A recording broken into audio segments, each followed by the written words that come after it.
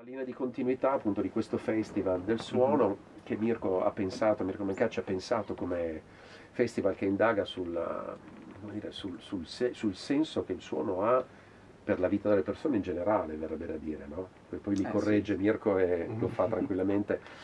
E quindi all'interno di questo festival si indaga su vari aspetti che, che, riguardano l'influenza che il suono ha sulla nostra vita. Sono influenze positive, possono anche essere negative, tant'è vero che l'argomento centrale è, spesso ricorre anche quest'anno al rumore come mm-hmm. elemento, diciamo, che crea anche danni seri. Insomma, poi non, non è questa l'intervista in cui parliamo di questa cosa, ma per dirti che si indaga anche sugli aspetti negativi. Invece voi rappresentate gli aspetti positivi, perché quando... Eh, no, esatto, fino a che non sogniamo, E quindi eh, con Matteo Mancuso eh, noi incominciamo questa serie di interviste con musicisti, ospiti della, della manifestazione, inserita all'interno di Collinaria Festival, il Festival del Suono, e per fare una, dire, una, una, serie di domande che partono ovviamente dalla vostra esperienza musicale, ma cercano di allargare anche al vostro punto di vista su quello che è per voi anche nella vita quotidiana il suono, no? in parte in relazione alla vostra attività di musicista, ma in parte anche come lo subite o lo vivete, sempre da musicista perché non possiamo fare a meno di esserlo, ma nella vita quotidiana. Quindi una pri- prima domanda e naturalmente mh, più indaga su quello che è il tuo progetto attualmente da musicista e quindi certo. naturalmente ti chiedo subito che cosa hai portato naturalmente al Festival del Suono a meno che Mirko non voglia fare subito un'introduzione ulteriore, no, oppure no. ti inserisci come preferisci. No, io sono felicissimo che Matteo sia qui, per cui facciamo parlare lui. Esatto. Però questa è la cosa. Insomma, prima, mm-hmm. che cosa hai portato a livello a questo festival e qual è il progetto che ascolteremo questa sera? Allora, diciamo che l'argomento principale è l'album che uscirà a breve. L'album esce il 21 luglio quindi la maggior parte dei pezzi del live sono tratti dall'album, poi facciamo anche qualche cover che trattiamo più come tributo agli artisti che ci hanno influenzato di più, quindi facciamo qualche brano di Pastorius per esempio, facciamo Avona, facciamo gli arrangiamenti di The Chicken che abbiamo fatto nel lontano 2017, eh, quindi abbiamo un po' di, questa, di, di questo materiale qui, più ovviamente gli originali. Eh, quindi l'argomento principale è l'album che si chiama The Journey, che sarebbe il viaggio, no? che rappresenta un po' tutti gli stili e le influenze che ho assorbito durante gli anni di studio. Eh, diciamo che rappresenta un po' gli ultimi quattro anni, questi che sono passati tra conservatorio e suonare live fuori e studiare ovviamente. Quindi, e volevo fare un album che non fosse associato a un solo genere, a un solo stile, tipo rock and roll o jazz o fusion, che poi fusion in realtà vuol dire pochissimo. Eh, quindi è, è, un album molto variegato, ci sono anche pezzi con, con la chitarra classica, ci sono brani eh, appunto più legati alla, alla distorsione, al suono dell'elettrica. È proprio perché il mio obiettivo mm, non è, è quello di non farmi etichettare troppo facilmente per, per, poi appunto sentirmi libero di poter fare ciò che voglio dopo, capito? Infatti eh, prima dell'intervista facevamo questa chiacchierata che riprendo eh sì. adesso in intervista che, che eh, noi abbiamo, veniamo da un periodo di chitarrismo italiano che fa riferimento a un ambito americano, prevalentemente parlando di chitarra elettrica moderna, quella californiana, no? quella, sì, l'area diciamo Ecco, mi pare che proprio tu rappresenti una ripartenza della, di una nuova generazione di chitarristi che magari non fa riferimento diciamo, ad ambiti europei o, o specifici mm-hmm. alternativi, ma che mette insieme una, un approccio moderno proprio a quello che è la, che è la chitarra eh, oggi, che fa riferimento parte dalla fusion, dal jazz, poi sono tutti termini ovviamente che non hanno sì, più sì. un valore oggi, oppure ce l'hanno, ma i jazz soprattutto ce l'hanno in una chiave moderna, ma che eh, si indirizza, come tu hai già anticipato, in una forma molto variegata, no? che ovviamente un, uh, ha un percorso anche di formazione proprio personale, che riguarda una, una modernità che non è più quella dello shredding o come di un certo chitarrismo californiano a cui facevo riferimento. No?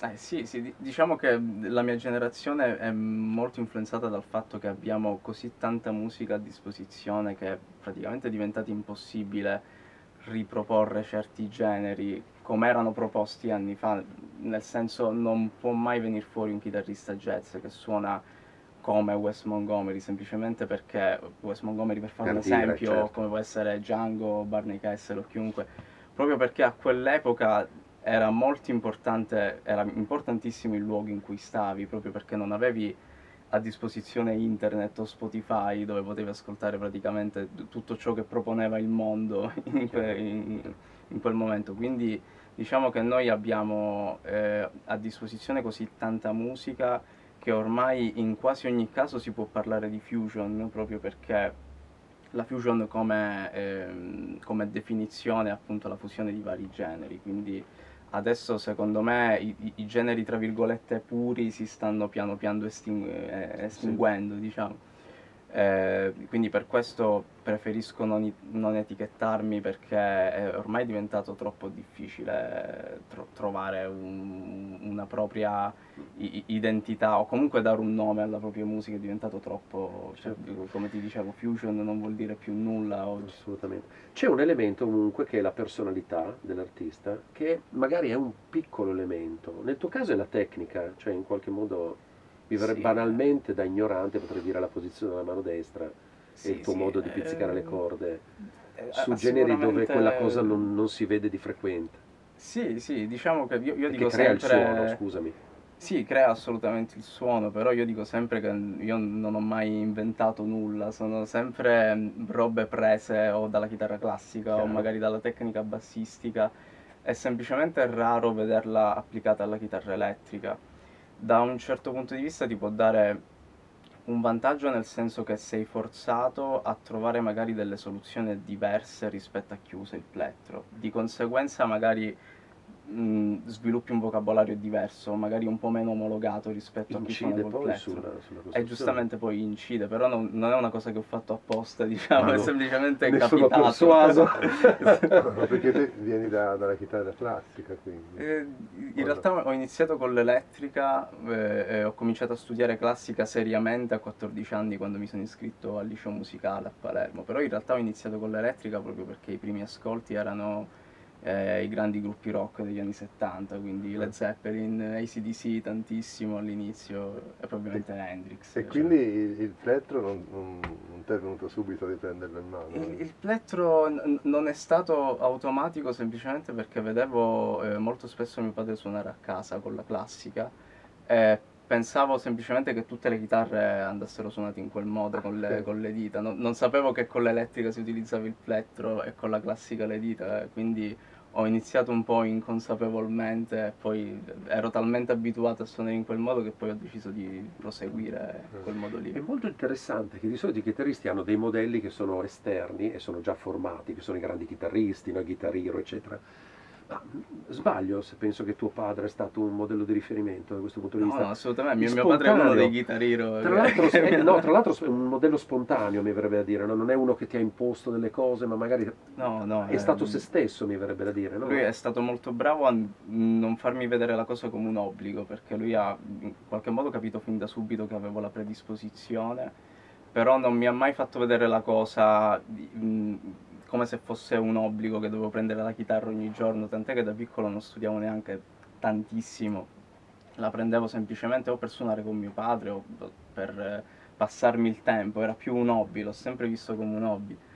Poi è, è, piano piano si è andata mm, concretizzando la cosa, soprattutto quando sono andata al liceo, ho cominciato a studiare di più, ho cominciato insomma ad essere un po' più eh, inquadrato perché ovviamente ho cominciato a capire che poteva diventare una professione, certo. quindi eh, piano piano ho acquisito la consapevolezza eh, e sono andata avanti, però mio padre è stato molto bravo soprattutto all'inizio a, a non farmi pesare il fatto che magari a, avevo il talento e quindi dovevo studiare, non, non, diciamo che il dovere non c'è mai stato soprattutto all'inizio, era sempre prendere la chitarra per piacere c'è un legame tra questo approccio un po' più mm, leggero, mi verrebbe dire, da dire, no? con l'improvvisazione, cioè quando si incomincia a improvvisare, uno degli elementi mm, diciamo un po' castranti è quello che si incomincia a entrare in alcuni schemi per improvvisare. Sì, mi dici invece il tuo approccio da questo punto di vista?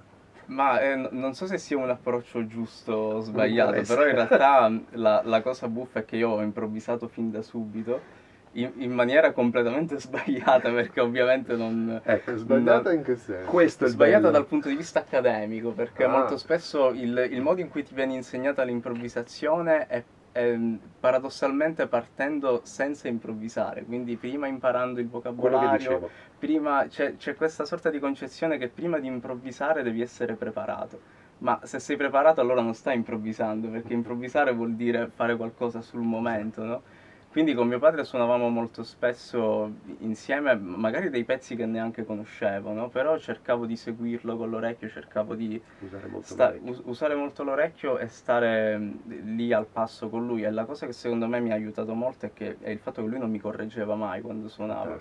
Eh, mi diceva semplicemente fai quello che vuoi, fai quello che ti senti di fare anche se poi è sbagliato, però segui quella idea. Ed è un po', se ci pensi, e questa analogia l'ho sentita da Victor Buten, che oltre ad essere un super bassista è anche un didatta incredibile. Quando i bambini imparano a parlare, no? E tu non correggi la loro pronuncia, no? Magari al posto di, di galleria dicono gabberia o, qual, o comunque qualsiasi altro esempio e tu magari pronunci la parola come la dicono loro, non li correggi, anzi la pronunci come la dicono loro, no?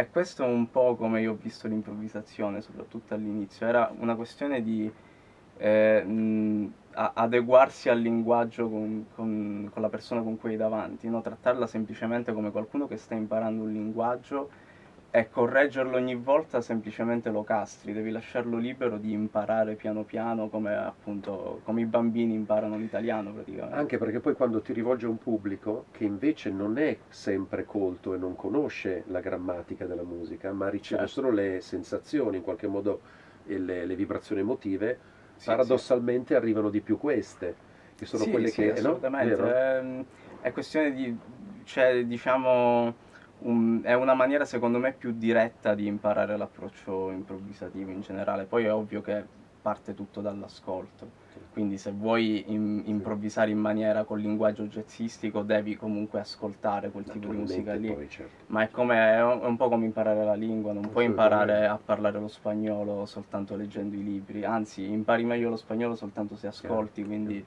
è, è, è, strettamente collegato a, al, al, al, è un po' lo stesso percorso di come quando impari una lingua praticamente. Tutto questo attiene a una ricerca di suono, perché ovviamente è quello che hai dentro e lo esprimi con i tuoi strumenti personali, eccetera. Ma ci sono delle cose che riguardano invece la ricerca sonora di cui vuoi parlare? Quindi entriamo proprio nell'argomento il tuo suono e la tua idea di suono eh, sì, ehm, eh, sì, sicuramente dal punto di vista puramente del suono io ho, avuto un lungo periodo in cui il mio unico amplificatore era un, un, un microcube della Roland, 2 watt di potenza. una eh, scatoletta. Una, una scatoletta dire. E, ehm, e, quello che cercavo di fare era di in qualche modo eh, eh, raggiungere le sonorità dei chitarristi che tuttora ascolto. Uno dei miei preferiti è Eric Johnson, che ha questo suono molto medioso. Sì, eh, lui usa tantissimo il fuzz e ovviamente col microcube io ero molto limitato. Però quello che ho imparato è che molto spesso i chitarristi ri- ricorrono troppo spesso a a degli aiuti esterni per raggiungere sì. quel tipo di suono lì. E quello che ho imparato è che in realtà la, il, l'80% della sonorità lo fai dal, dal, dalle mani, dall'attacco, dal modo in cui eh, eh, prendi la corda o comunque da, dalla forza che, ha, che hai nelle dita. È, è la cosa fondamentale. Poi quel minimo di colore in più lo dai coi pedali, ma la, cioè la gente pensa che per ottenere quel tipo di suono lì devi avere prima di tutto la strumentazione che ha quel chitarrista, ma in realtà è, è, è una concezione completamente sbagliata. Ti racconto un piccolo aneddoto. Eh, una volta sì. uno dei tir di Pat Metini che suonava da queste parti sbagliò eh, data e andò a Roma, era quello col backline invece doveva suonare qua a Viareggio, per cui è rimasto senza chitarra, senza amplificatori, senza niente. Per cui ho cercato qui nella zona, nei negozi, amici, eccetera, insomma, un amico mio gli ha dato tutto, tutto il backline suo, no, in pratica. E quindi ovviamente dal concerto ho sentito il suono di, di, lui, il classico suono di Patmetini, poi è arrivato a casa non ha mosso niente, sai, perché voleva... Ha tenuto tutte le impostazioni. I pedalini, state attento, non toccare nulla, il potenziale dell'amplificatore, è arrivato a casa e ha provato a suonare, non c'entrava assolutamente niente. Quando si ricerca il proprio suono eh, si è nel proprio mondo, bene, ma tutto il mondo esterno in qualche modo influisce sulla nostra percezione anche sonora di partenza, il contesto sonoro da cui si parte, tante volte forse incide anche sul nostro modo di agire con gli strumenti con cui facciamo la nostra musica. No? Assolutamente sì. Ma eh, c'è qualcosa, hai riflettuto mai su questa cosa?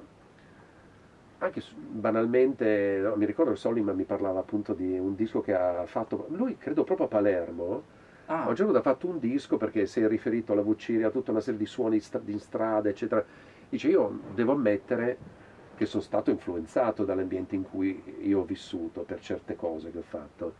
Ora, senza con- condizionarti su quello, perché voi venite tutti da Palermo, tra l'altro, poi sì, gli, sì. Altri, gli, Altri, due componenti della band, diciamolo subito chi sono. Sì, Stefano Vindi al basso e Giuseppe Bruno alla batteria, tra l'altro sono tutti e due della provincia di Palermo. Quindi, quindi sì. Però questa riflessione l'hai mai fatta sul, sull'ambiente in cui vivi, eh, sul, su quello che, che possono, possono essere le influenze, ma anche banali, quotidiane, sul tuo modo di... Eh sì. Di reagire ti... anche a quello che ascolti. Sì, sì, è anche un po' il, il modo di, di vivere la musica quotidianamente. No? Eh, io ho sempre pensato, prima di tutto, per me il, il palermitano doc è pigro e io sono assolutamente pigro al 100%, quindi in qualche modo questo, mm, il, diciamo, il, il lifestyle che c'è soprattutto al sud influenza anche il modo in cui vedi la musica, secondo me. Eh, con i ragazzi, per esempio, noi siamo sempre stati del parere che se quando abbiamo registrato i pezzi all'inizio ci mh, facevamo un sacco di take, un sacco di, eravamo super concentrati, eh, però molto spesso le, le, prime take sono quelle più, più spontanee, no? Eh, e tant'è che per la maggior parte dei brani le, le take sono state sempre le prime tre, addirittura per alcuni pezzi proprio la prima, quindi eh, secondo me b- bisogna trovare appunto un equilibrio tra vivere la, la, vita un po' serenamente come facciamo magari eh, al, al, sud, a Palermo, eh, e, e, ovviamente avere quel, quel, minimo di perfezionismo in più che ci certo. sta magari nella musica che facciamo noi, che è sempre musica strumentale. Eh, quindi sì, il, il, suono ti influenza, sicuramente ciò che ti circonda ti influenza in, in qualsiasi maniera. Palermo è, è, una città a cui io sono affezionato perché è, è una città, io la, la, la, descrivo sempre come una città molto araba perché è, è, caotica ma allo stesso tempo ci sono degli scorci di silenzio appena ti giri da qualche parte che sono super suggestivi. Tant'è che c'è un pezzo dell'album che si chiama Silk Road che è un po', un po dedicato a Palermo perché il videoclip è tutto girato lì e, e, riprende un po' questa Palermo arabo-normanna con le influenze mm, sia sicule che arabe in realtà. È, alla fine è il nostro retaggio, quindi perché Comunque, rifiutarlo? Certo. Sì. E quando ti trovi all'esterno, fuori dalla tua città, come reagisci ai suoni mm, fastidiosi, per esempio, ai rumori, alle ma in realtà... Se, se, li consideri, perché qualche musicista li considera stimolanti, qualche musicista elettronico soprattutto, no? Te lo dico perché... Ah sì? no, per lo più io ho sempre, diciamo, sono un po' di parte perché io, io ho una casa di campagna a Casteldaccia, che è leggermente fuori Palermo, quindi sono sempre stato del parere che se c'è il silenzio certe volte ti aiuta a sentire quello che hai in testa meglio. Bravo. Se sei sempre avvolto dal rumore può essere controproducente. No, non, non, puoi captare tutto, non puoi fare di tutto stimoli, eh, diventa impossibile, quindi qualche volta è, sempre meglio fermarsi un attimo e ascoltare quello che c'è nel cervello. Bravo! Questa frase di chiusura non poteva essere che migliore di questa. Fantastico. Grazie Matteo e Grazie a voi. Dai, buona serata, buon concerto e divertiamoci.